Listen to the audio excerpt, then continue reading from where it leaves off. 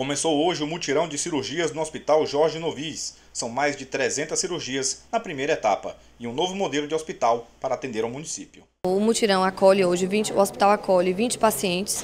Esses pacientes foram triados no mutirão e estão todos já alojados no hospital. Alguns pacientes irão passar a noite, né, pernoitar por conta do perfil cirúrgico e outros terão alta, alta no mesmo dia. Nós estimamos que chegaremos a 600 pacientes, 600 cirurgias a serem marcadas.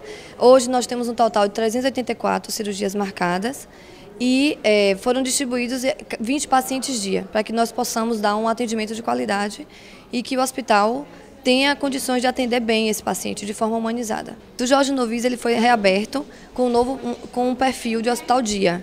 E os profissionais que foram alocados nessa instituição nesse momento são profissionais que já têm uma experiência em centro cirúrgico e que já trabalharam em outras instituições, que, instituições essas que já têm um padrão de qualidade que a gente espera que seja adotado aqui no Hospital Jorge Novis. Hoje eu estou na diretoria geral, em parceria com o doutor Rogério Medrado, que é o diretor médico dessa instituição, e tentamos colocar aqui o padrão de qualidade desejado, né?